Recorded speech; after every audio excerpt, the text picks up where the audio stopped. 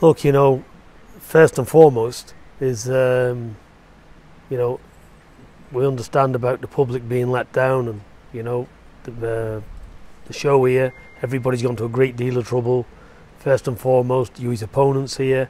They've weighed in, you know. But look, this has uh, gone wrong from Tuesday. He finished his camp over the weekend, uh, last weekend. Then on the Tuesday, he was getting on the plane from Amsterdam. He said, I don't feel too good. So he went and got some uh, Lemsips and stuff. And uh, as the day wore on and he arrived here, he started feeling a little bit down again. And uh, the next morning, Wednesday, that's when it really hit. And uh, so we got him, uh, he was feeling very weak, a fever. So we got him uh, some antibiotics. So we put him on the antibiotics from Wednesday morning. And instead of having them, we put, we put him on amoxicillin, the 500 milligrams. So we put him on them. So instead of having like two doses a day, we put him on three to try and get it out of his system quick.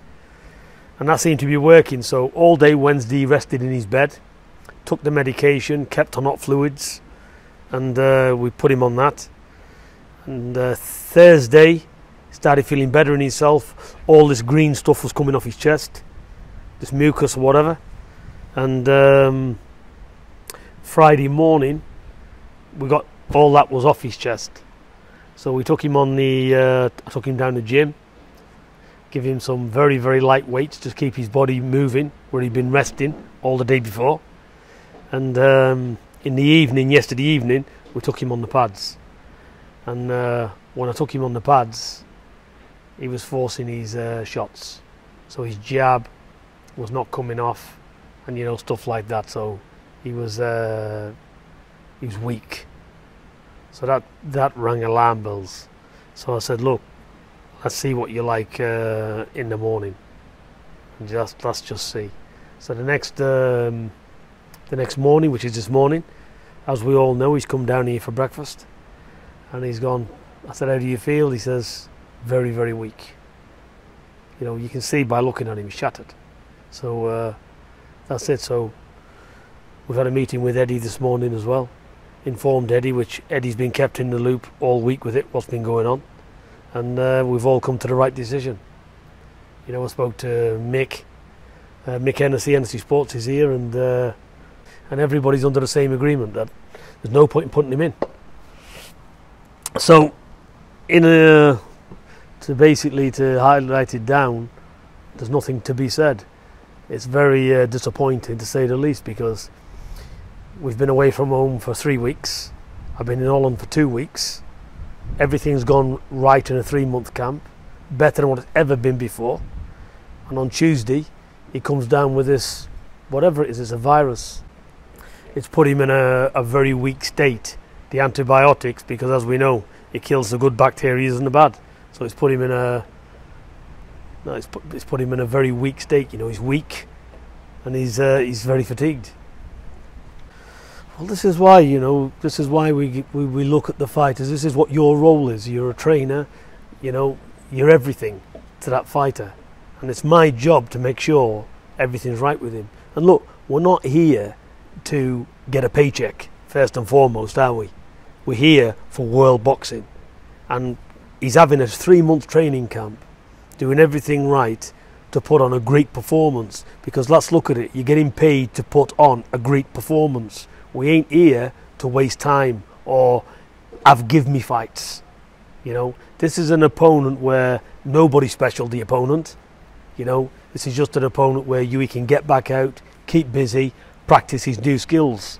That's what this fight is. It's not no major league fight he's having. Yeah, so basically, we can't put him in fights like this where he's not absolutely 100%. Doesn't matter who you're fighting, whether they're good, whether they're not good, whether they're not so good. The opponents are pretty irrelevant in this. It's where your health is at stake. And when he was on the pads yesterday, I could clearly see there was no snap in his shots. And when he was trying to get speed, he was pushing the shots because he just couldn't get. There's no energy there. So that tells me all I need to, all I need to see. Well, the good thing is now he's getting a lot older because a few years ago he wouldn't say anything and he'd just say, just let me fight. You know, he, he wouldn't say a thing. Now he's listening to his body more and he's being open and honest about it. and he, you know, he's come this morning because this morning I was going to take him on the pads this afternoon and try him again. But he said, I said, how you feeling? He said, look, it's gone. So he, he knows himself. You know, so let's look at it this way. What do we do in a situation like this? Do we put him in the fight and he has a complete stinker? And then you give the explanation after, and then people will look up and say to me, Well, hang on a minute, why did you let him fight then if he's ill? You know? So better off not bothering because it's a case where you can't win anyway. So there's no point. A fighter has to be 100% healthy before he steps for them ropes because your skill set is not there and you're not going to perform. Therefore, you've wasted everything. But it is very, very distressing what's happened here, you know, to say the least. Because this is not about money, it's not about all the waste of time, everybody clamouring round and doing whatever. This is disaster on a, on a major scale, in my opinion. Because look, I've got better things to do in the way three months of my time, and all my team as well. You know, we've all gone to great lengths, great expense, and everything else, and you can't get your time back. The only positive thing out of it that he's uh, picked up a lot of skill set, and it's just very disappointing because the fans and the public haven't got to see it. That's another frustrating point. So all the hard work you've done, people are not getting to see it. So it's like, listen, it's a shot out the blue. It's like being, look, it's like walking down the road and just getting shot. You know, you don't expect it, do you? You know, it's like um, with anything. These things happen, and when they happen, they don't give warning. They just happen.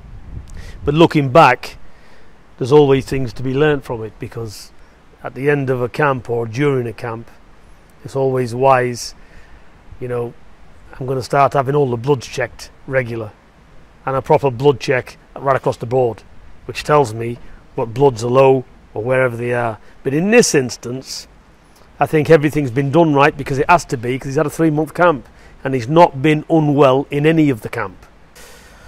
Oh, just a conversation with Eddie. Uh, he's going to look at his dates. He's on the he's on the next show, which will be the next show in the UK, sometime in February. So Eddie will announce it, and you will be on that bill. You know, um, there's one thing for sure. There's no gimmies. There's no jokes here. Everything what's happened has happened for a reason. Believe me. You know, if he was 75% or even 70, he'd be fighting today. You know, but he's not. He's not well. So you just can't put him in. It's just one of them. It's unfortunate, it's unlucky, and it's, uh, it's one of them. But if you dwell on things, you just knock yourself completely sick. Because we've all got families, and I've been away from my family for three weeks.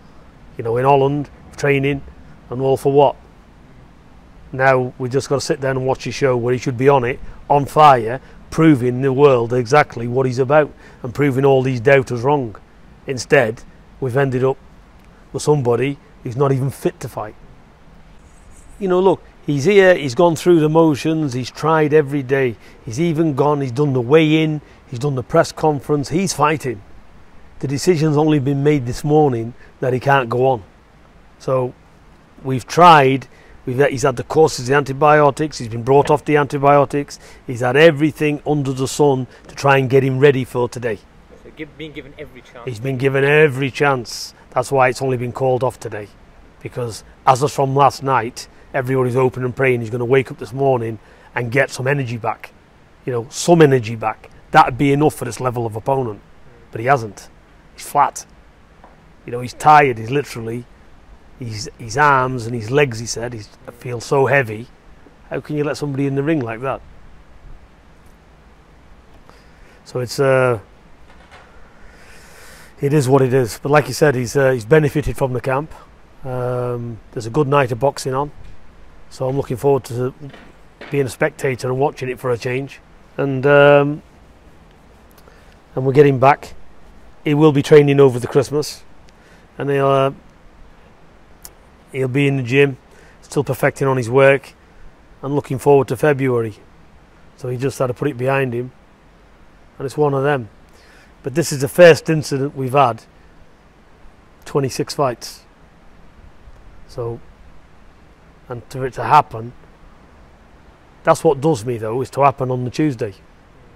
You were flying here from Holland on Tuesday, and then there's a problem. So not during the camp, not in it, no sparring difficulties, zero. So Yeah. the, time, the time where you're supposed to be winding down, relaxing, that's when it hits. Well, yeah, you know, you that week you're relaxing, everybody's in a good mood. It's fight week. There's a buzz about it. Everybody's happy, and instead we've got somebody who's like a hospital patient. So that's where we are. So it's very, uh, very disappointing to say the least. You know, there's no words, is there? You know, he's he's had an excellent camp. He was looking forward because he said to me many a time, "I'm going to show these people exactly what I'm about." You know, he was looking forward to putting on a lovely boxing display here. You know, so it's hit him hard, hasn't it? You know, it's three months. It's three months of constant sparring, constant training, getting everything right.